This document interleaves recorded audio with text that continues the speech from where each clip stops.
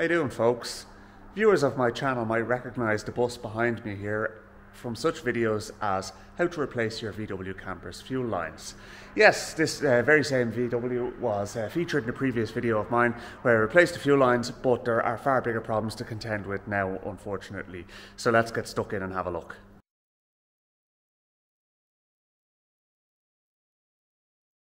The owner of the van in question told me that he was having running issues where it was uh, losing power at higher RPM and was generally sluggish. And um, he also mentioned as a footnote that there was a starting issue, which he identified as being the ignition switch, but uh, I can assure you it most certainly is not. It's actually 9 pm on a Saturday night, and uh, I decided that rather than sitting down and relaxing and uh, just having a couple of beers and uh, watching a bit of YouTube stuff myself, I said, you know what, I'm actually going to go and create a bit of YouTube content for a change because I know I've been a little bit off the boil on that of late. Um, truth is, we've actually been we're in the throes of trying to move house at the moment, so that's one of the things that's going on, and there are other things as well. But uh, life in a life in the world of Ross Kelly is a little bit hectic at the moment. But um, anyway, yeah, just in the case of this van, um, I will. I, I came up earlier on with my son, um, and uh, I just uh, he he wanted to come up and see camper dance, which is what he calls them. and um, I decided, you know what, while I'm here, I will. Um, I'll just turn over the key and see what happens. But uh, this is all that happens. It'll probably work now. Wait until you see. Nope. Oh.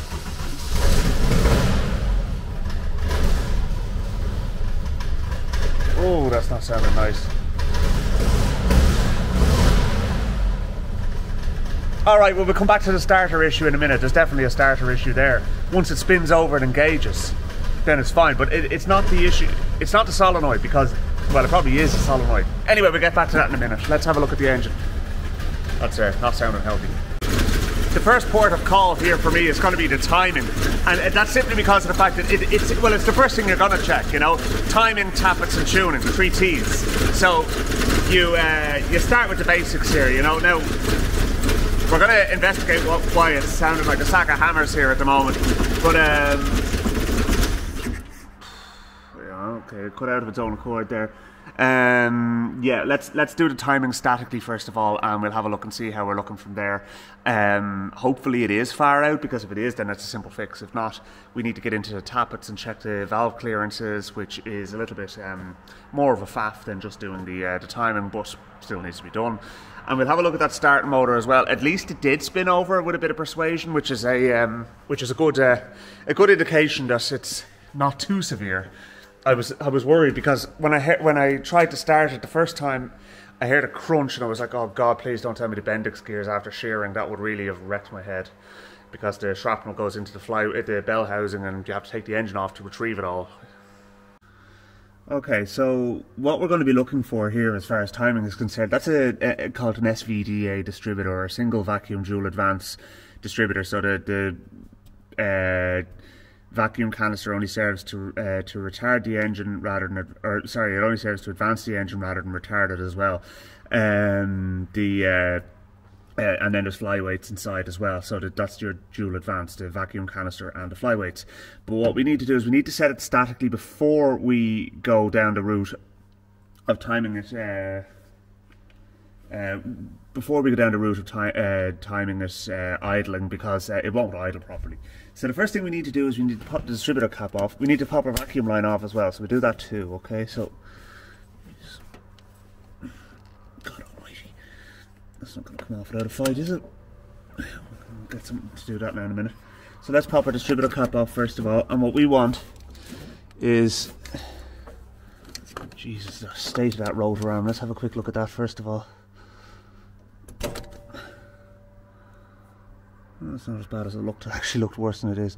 It's okay. Uh, it's um, it's one of those uh, rotor arms with a rev limiter on it. Um, I don't necessarily like them that much, but uh, anyway, um, let's uh, let's just make sure first of all that our flyweights are actually working. You can kind of you can turn that uh, shaft in the middle and see if you'll feel the movement there. Um, we'll check our vacuum canister now in a minute as well. But for the moment, anyway, the uh, what we'll do is it's running point anyway. So that's uh, That's something. So what we need to do now is we need to find out where number one cylinder is on the on the distributor cap. So number one cylinder is front right. So front is front. It's not you know front front of the engine, not front is in facing you. So okay, so that's number one, which is pretty much where it should have been on the distributor cap. Okay, so that will be we need to rotate the engine back the ways so that that uh, uh, that's over there and uh, that'll get us close to the mark and then we can, uh, do the rest of the movement afterwards. I'm actually going to get a socket and turn it that. Okay, so now we can, there you go, that's a bit easier to rotate. And what you can do is if the belt starts slipping on the alternator, just push uh, push the belt in a bit and that kind of tightens it.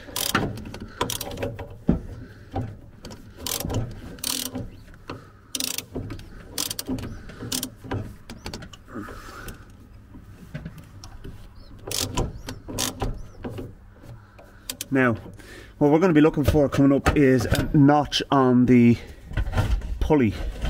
And already I see it. Okay, so there's there's going to be two notches, okay? One on the one on the inside of the pulley, okay, and it'll be on the outside there as well. And then a bigger notch. Now the bigger notch is top dead center. The one you want is about a centimeter um, clockwise of that, which is uh, 7.5 degrees before top dead center. And what you do is you line it up with the uh, split in the crankcase, and there's a little notch there. So we should be able to turn it by hand now to get that line around to where we want it to be. And that's basically it there right? Okay so don't be inclined to turn the engine back the way, ways because you're, you're or if you if you do have to do it turn it back a good bit and then bring it back because you're, you're you'll end up introducing backlash into gear drive and all, and all that. So okay so now the engine is at 7.5 degrees before top dead center so what we now need to do is we need to set the distributor so that the spark just fires at that point okay and we'll see how far off the mark we are. But the first thing we need to do is we need to undo that 10 millimeter nut there so that we, that'll allow us to rotate the body of the distributor. I'm going to try and rotate it. Oh, for God's sake, it's. Well, that's your problem. Look at that. Like the distributor's completely loose, it's hanging in there. Alright, so there we go. So that's going to be number one problem. So what we're going to do is we're going to rotate, we're going to uh, turn on the ignition and I'm going to rotate the distributor um, just until the spark fires uh, like it's in the point open and uh, then basically lock it down. What you'll actually do is you can you can listen for it. Now you can do it for you can do it with light as well. Basically, you have the ground side of the light um, going through the point, and as soon as the light comes on, that's basically the point at which you lock it up. Um, but oh, Jesus, I can't believe how loose that is. Okay, right. Let's uh, let's let's turn on the ignition and go from there. Bear in mind, folks, this is a preliminary setting. I am going to use the uh, timing light on it afterwards. There's your vacuum line off there now, right? So, just keep it quiet there, folks, and let me have a listen for the spark.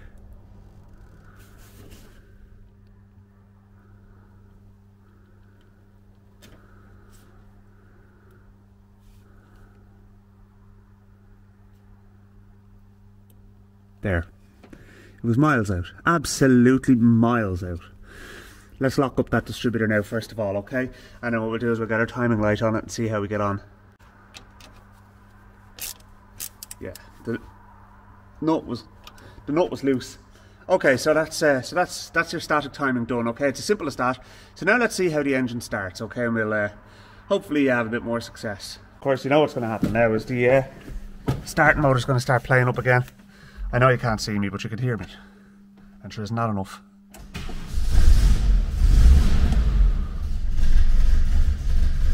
Well, that's a hell of a lot better, isn't it?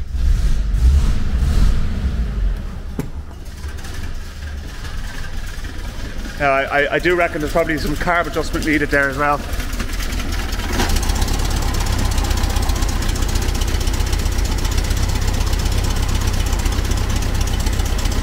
The engine warm up a little bit.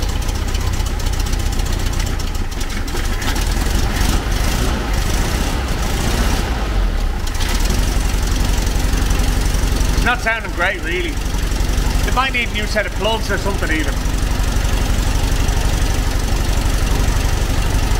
Of course, the vacuum leak is not going to help. Let's just put that on for a moment.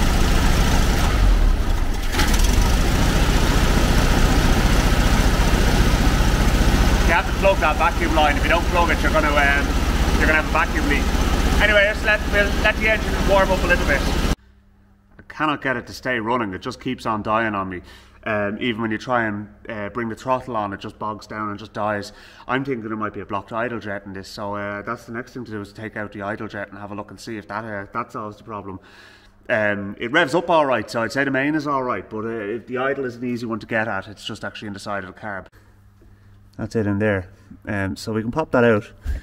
It's a uh, 10 mil socket and uh, take a look at it and see if uh, see if that solves the problem. Um, but uh, yeah, I mean, Jesus, it's it's running like a dog. I mean, I don't know how the hell how the hell the owner was actually driving it at all with it the way it is. Um, but look, if we can we can get it right, you know, I mean, it's it's not the end of the world.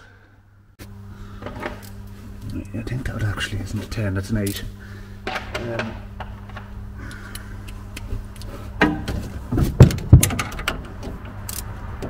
yeah. All right.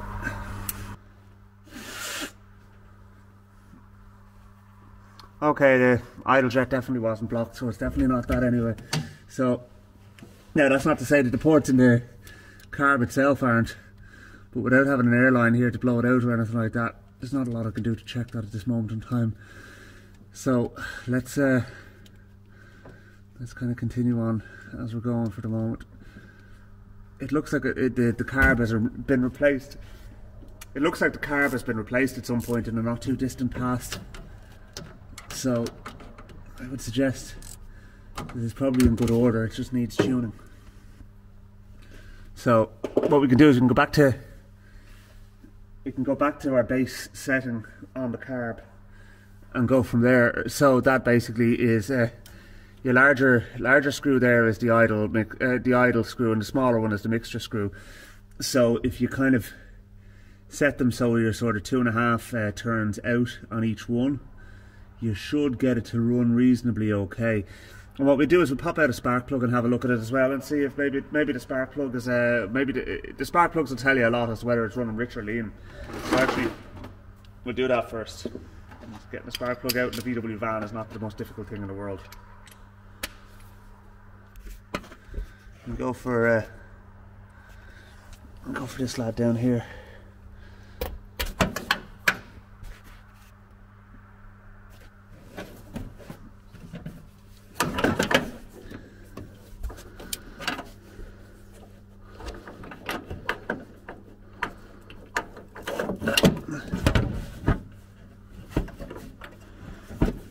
I might need my 3/8 drive socket set. No, there we go.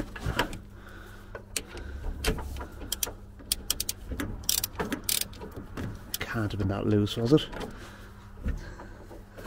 That was practically finger tight.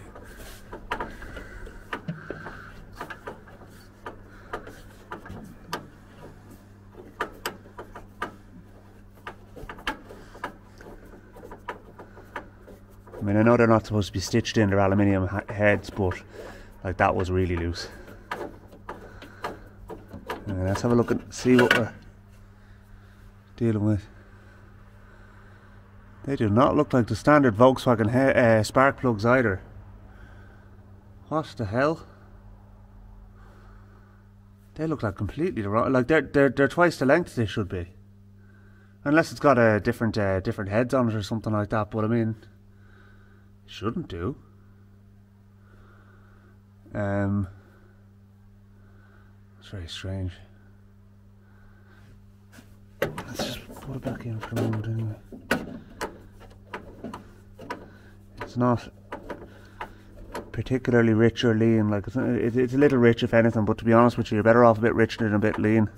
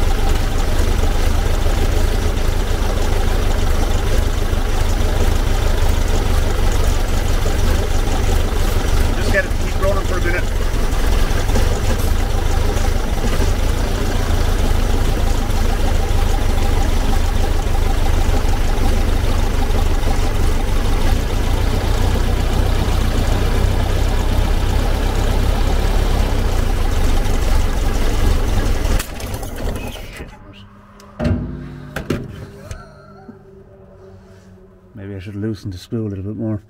Okay, we'll come back to that in a minute. All right.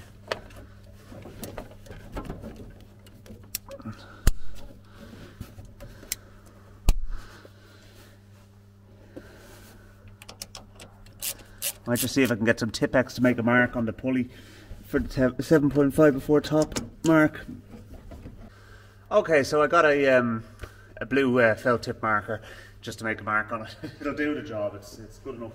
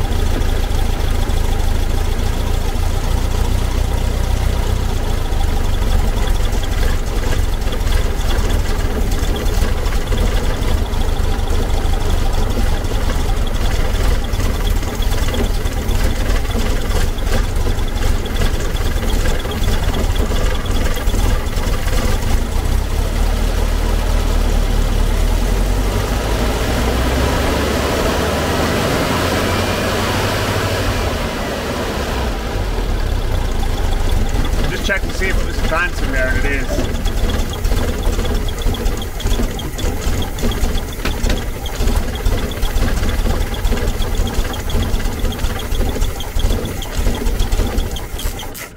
The auto engine off feature is very handy.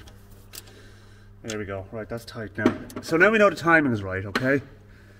So the next thing I need, the next thing I'm curious about is to see if there's any vacuum leaks, because that's not an uncommon issue with these as well.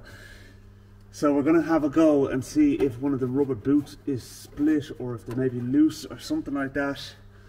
Um, because yeah, so let's get the timing light out of the way anyway. Now we're we've done all we're gonna do with that. I'm just looking at the state of that air filter up there.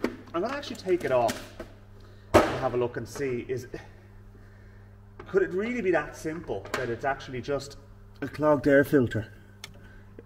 No, it probably isn't, but you know, look at for the sake of two seconds. Let's just try and run it now and see how we get on. Jeez, all, if that's all it is, then happy days.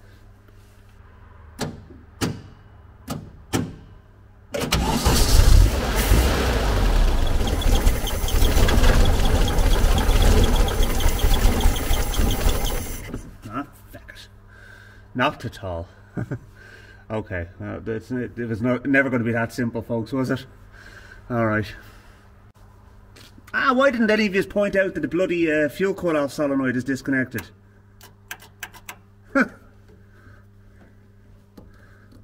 I'd say a few of you were screaming at the TV there. Right, hang on, let's try that again.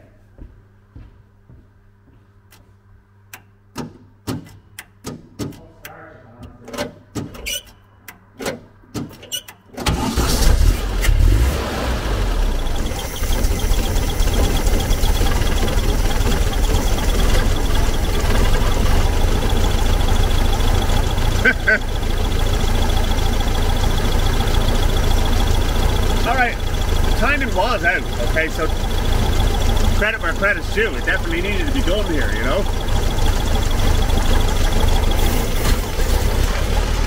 See the way it's, bogging down.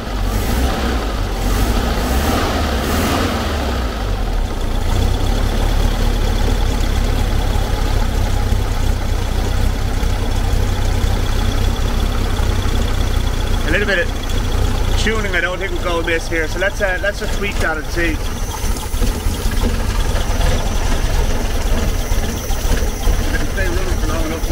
Screwdriver. Don't die on me, come on.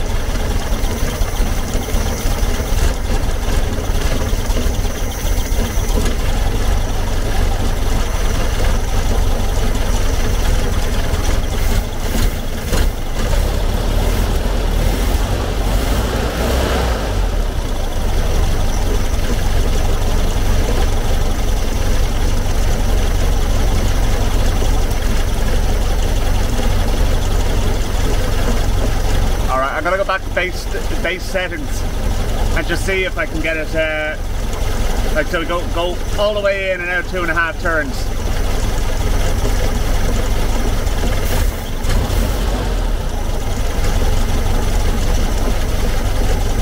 There is a, a I still think there is a vacuum leak.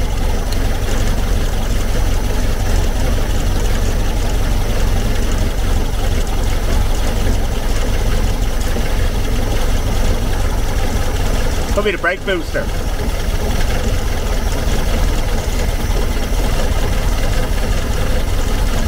Obviously it's going to kill the engine, but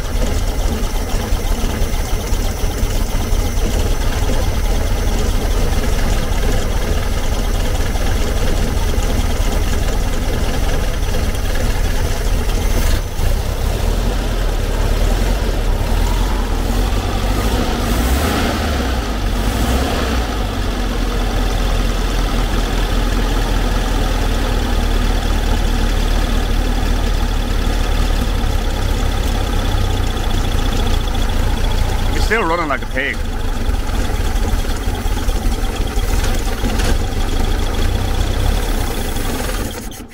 Yeah. All right. Okay. Um, let's uh, let's reset that uh, carb and then we'll go from there. Okay. So what I'm going to do now is I'm going to actually just check for vacuum leaks. I suppose the thing is, I need uh, the other thing I need to do. I should really do is I should adjust the uh, adjust the points, but I haven't got a feeler blade with me, so I can't do that at the moment. I know I, I know people are probably saying, "Oh, well, you should do that before you mess with the carb." But look, it's probably one of those things that's going to have to be revisited anyway. I'm kind of trying to do a preliminary fact find here as much as anything else. I fully expect to kind of be delving further into this engine, uh, but um, for the moment, anyway, it's it's kind of a good starting point. Uh, I, what I, so what I've done here now is I have um, I've actually set the the idle air screw uh, down to uh, uh, so it's two and a half turns out. The other thing I'm going to do now, while before we do anything else, I'm going to just make sure that those clamps, and they're not, the clamps on the boots for the uh, on the boots for the manifolds are tight. They were certainly not tight. So I don't stitch things, by the way, folks, in case people are thinking, oh, Jesus, there he is stitching something else. Like, that, they're loose. Like, end of story. So, right, so that might, might make a difference. Uh, honestly, I doubt it. I mean, they were loose, but they weren't that loose. So let's, uh, what we'll do is we'll start the engine. Hopefully it'll run all right. Uh, all right enough for us to check this. And then what we'll do is we'll just spray a bit of, a bit of UB40 around the place and see if the, if the um, engine picks up at all when I spray it and if it does, then that's our uh, that's our issue. I'll, uh, I'll, try tightening them as well in a minute. The vacuum uh, vacuum lines for the. Uh, uh, let's see if that one there is actually loose because that's a vulnerable one. I wouldn't have called it loose now, to be honest with you. Um, okay, let's start her up and have a look.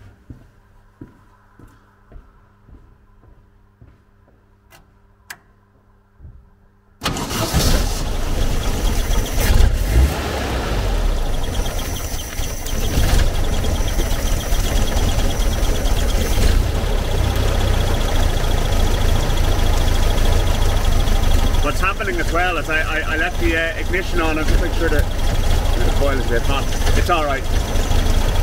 What happens is the, the auto choke is off now, even though the engine's not hot. Two guys out of harm's way there a bit.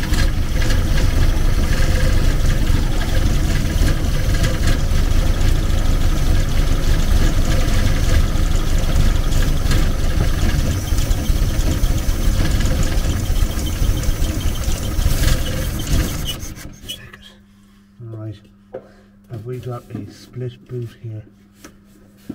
These are a bloody nightmare to change. I think we might.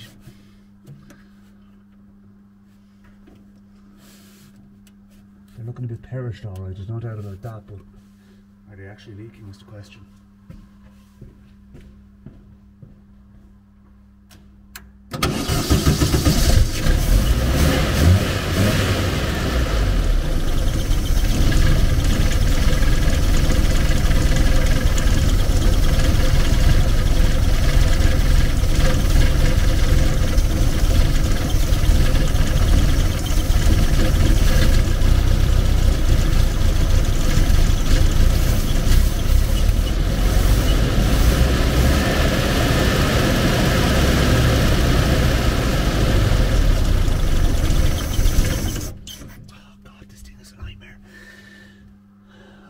Okay, let's uh, let's have a think about this now. Okay, so what I've done here now is I've actually disconnected the brake booster line and uh, plugged it uh, with a socket extension. So that is one one possible source of vacuum leaks. So now I'm going to see if the engine will run properly now. We'll we'll uh, we'll have a gander and see uh, see if we're anyway closer to the mark.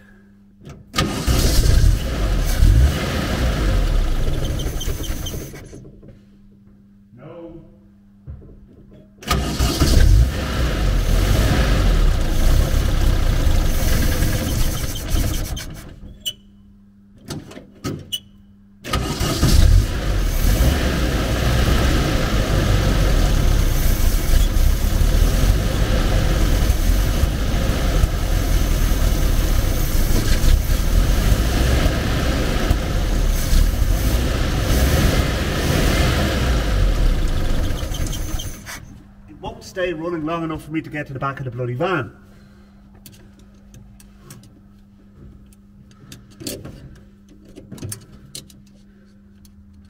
Let's just turn that out another turn. Well, put that, put that on. Come on, let's see if we can get it to keep going.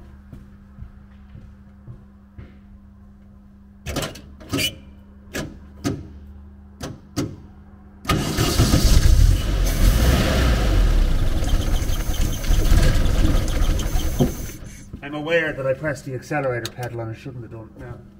I'll try it.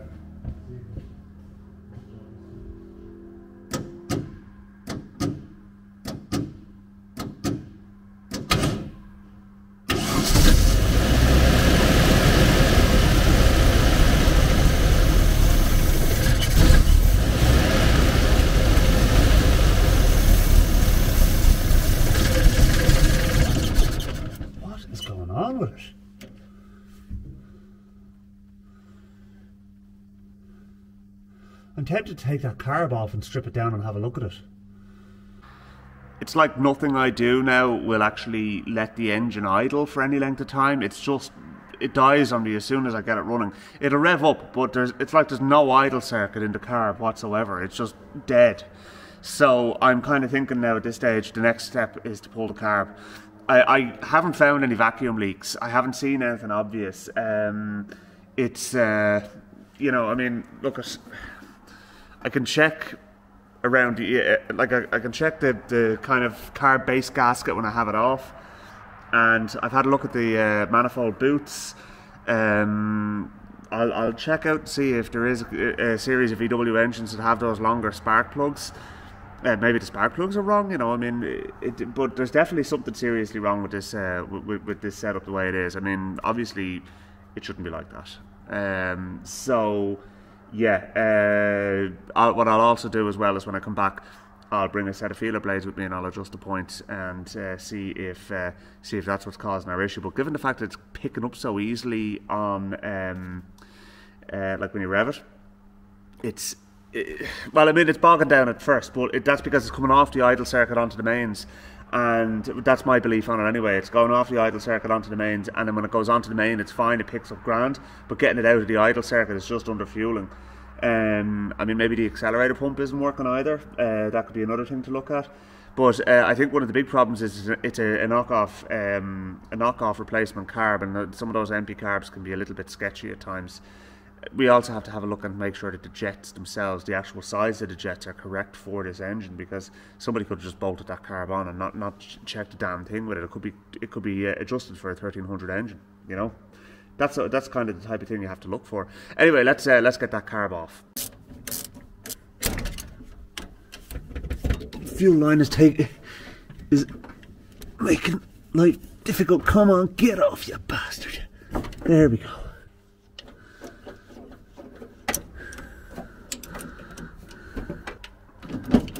Alright, that's the carb off. Okay, so I'm not going to leave you guys hanging. I'm going to take the cover off the top of the carb and we're going to have a look inside and see if there's anything untoward. Like if the float bowl is full of shite. That'll certainly uh, point us towards one problem. If the needle valve is the, the if the float bowl isn't full or is over full or there's a number of things we'll be looking for when we get in here. I think the number one problem with it though is the fact that it says EMPI on it. Unfortunately, they're just crap.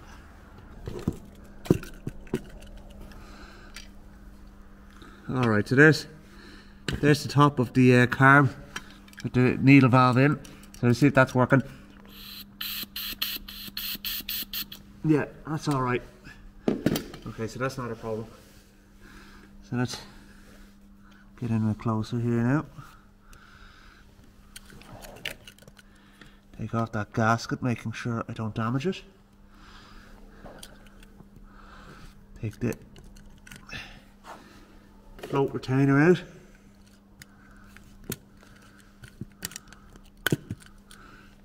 Over there's that, and the float can now come out.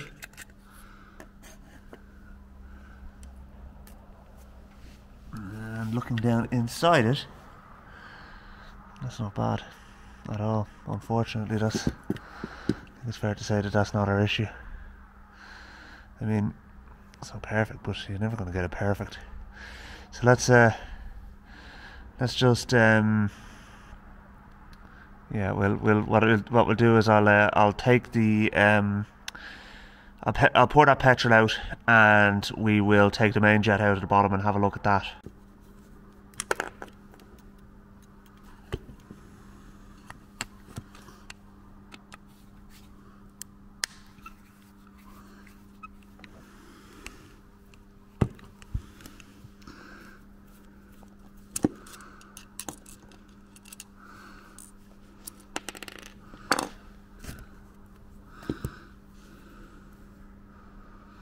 Not blocked anyway.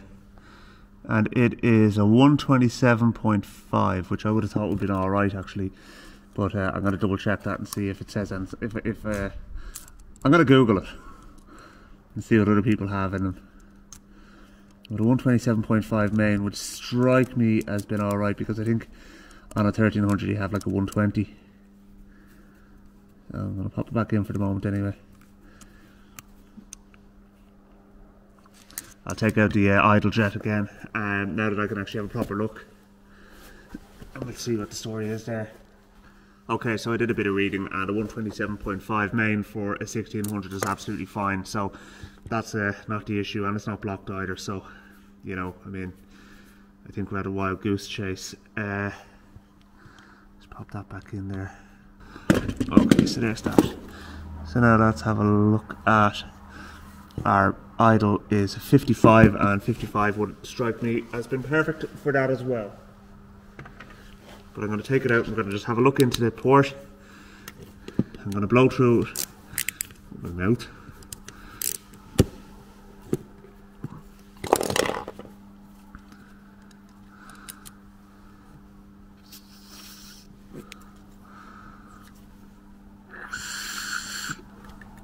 That's not blocked anyway. Or if it was, I just unblocked it.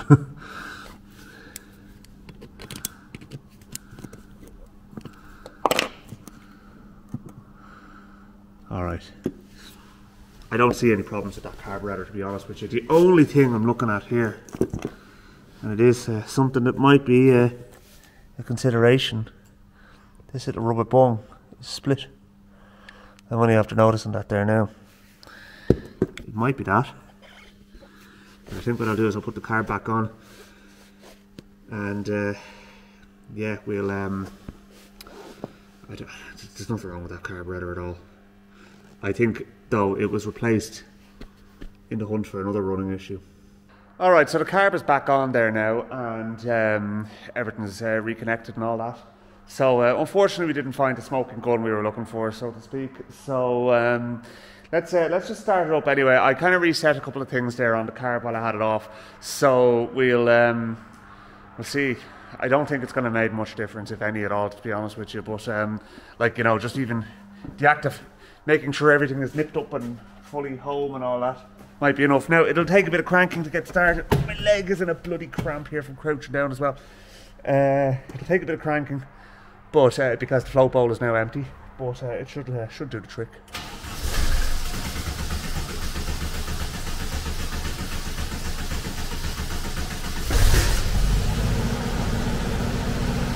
Right.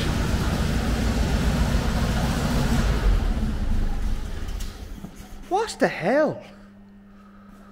That's mad, like. All right, okay. Um, let's let's try that again.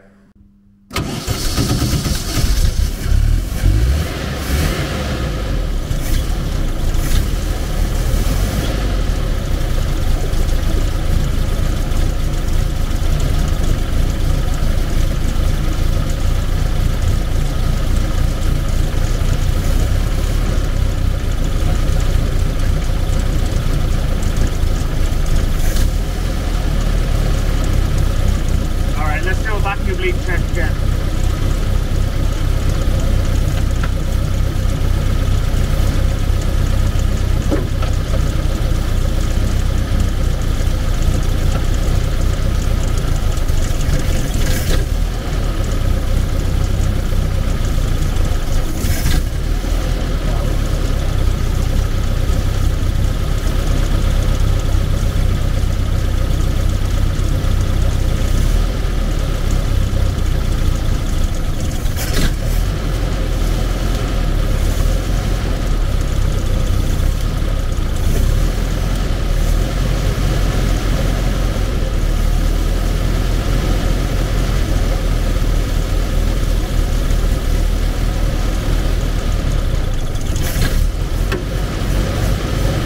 I need to change the battery in my light.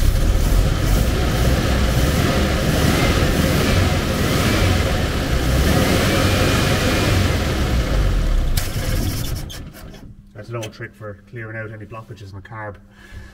Uh, you probably didn't see what I did. I put my hand over the carb. All right, I've faffed around with this long enough, and I'm tired. My legs are in a cramp, and I'm no better off now than I was when I uh, started. To be honest with you, so I need to walk away from it and come back to it with a fresh head. The next thing to look at is uh, the fuel system is fine. Okay, the fuel system is definitely fine. Next, I need to look at the uh, ignition system and start uh, start getting into that, and uh, maybe stick a new set of points in it. And a, I think I have a spare set of points knocking around somewhere, so I'll throw them into it, and um, we'll uh, have a look at. Uh, you know, I'll, I'll try and find out what the story is with those spark plugs as well. If they're the wrong ones for the engine, then we'll put the right ones in it, and we will. Yeah, and then we'll do the tappets and stuff like that as well. But I'm damned if I'm doing that now. So this is going to be a kind of a two-part, maybe even a three-part video on uh, how to get this bus to run properly. Uh, there are other issues as well, by the way. The wipers aren't working, and the um, what else did he tell me? Uh, I know he said the wipers weren't working anyway, so we need to have a look at that. And uh, there's a couple of other electrical gremlins and stuff like that here and there too. So definitely uh, a few jobs to do. It's only just back from the body shop, and actually the guy who did the body work on it, um, he did a really nice job. Actually, the front panel looks really, really smart, and it has been replaced. Um, and I need a good bodywork guy to do some uh, rectification on my Beetle to get it right and uh, get the A pillar sorted out on the passenger side. Uh, apparently he's a bit expensive, but to be honest with you, if he does a good job, I don't mind paying for it, you know. So I may bring my Beetle over to him. He's not a million miles away from here, so you know it's great being able to actually see quality workmanship and bodywork in this country because it's Jesus, it's hard to find to be honest with you sometimes. And there's so many cowboys out there. I'm not saying everybody's a cowboy, but there's a lot of them, and um, yeah, uh, the, the the guy who did this. I mean, certainly from what I'm looking at, he wasn't a cowboy. Um, but uh, yeah, look, it's it, you know it's great to get back to a bit of tinkering, folks, and um, yeah, we'll we'll we'll stick uh, we'll stick with this and uh, get it right, and then eventually uh, we will get back onto this poor fella in the back corner here because um, I really do love that car, and uh, I do want to get back to it, but um, yeah, it's uh, you know to be honest with you, if if all goes well with the house move and we get the house that, uh, uh, we get the house we're looking for, I am going to have an amazing workshop in it, and um, I won't be uh, I won't be availing of this uh, space here. Much as I uh, much as it's a great space, I won't be using it anymore, and uh, I'll be um, moving my entire fleet to my house. So it'll be. Um, yeah, it'll be that'll be great, you know. So Endfloat will have a proper workshop, and there'll be plenty of tinkering videos to come with that. So uh, yeah, listen, folks, thanks very much for watching, and uh, thanks for your patience and words of encouragement and everything like that. Really does mean a lot to me and my family. And um, I'll uh, catch you in a future video. Talk to you soon.